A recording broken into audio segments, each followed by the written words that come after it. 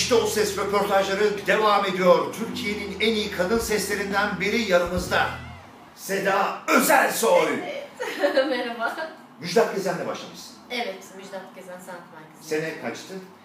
Ee, 2006 mezunuyum.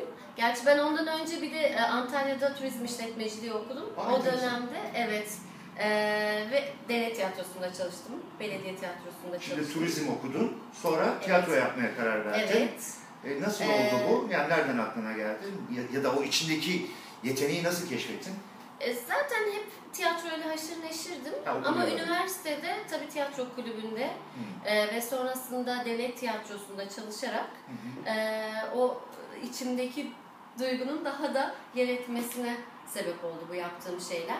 Evet. Ee, sonra şehir tiyatrosunda da çalıştım. Öyle mi? Evet evet. Aa, şahane. Zaten ondan sonra da İstanbul'a e, pulumu pırtımı toplayıp geldim. Antalya'dan dair İstanbul'a şey geliyor, yapmadım. turizmi bırakıyor, tiyatroyla tanışıyor ve bu konuda emek veriyor. Sonra seslendirme. Sonra seslendirme. O nasıl başladı? Ee, o da şöyle ilginç bir şey oldu. İşte e, İstanbul'a geldim e, ve herkes gibi, her tiyatro mezunu gibi drama dersleri vermeye başladım. E, bazı tiyatrolarda çalışmaya başladım. Ve ondan sonra ben Antalya'dayken beraber çalıştığımız Murat Sarı Aklakara'daydı. Evet. Aa, Ve eşi Ece güzel. Aa, Sarı. süper. Murat'a da buradan Ee, selamlar. evet selamlar. Onlar sayesinde Aklakara ailesiyle tanıştım. Onlarla birlikte Evet, çalışmaya başladın. orada işi öğrendim. Evet. Sonrasında farklı stüdyolara da gitmeye Aynen. başladın ve Kesinlikle, gerçekten çok sevilen bir ses Hmm, teşekkür ederim. e, Ben de çok gel- keyifle yapıyorum. En çok konuştuğun şey varmış. Alacakaranlık Evet efsanesinde ya. çok bilinen bir ses. Bir de Black, fenomen olmuş. Black evet. Swan, Elizabeth Evet. Stewart. Bak nasıl çalışmış. Kristen Stewart. Kristen Stewart. Evet. Oluyor böyle şeyler değil mi? Oradan Ee, seni biliyorlar. Başka kimler var?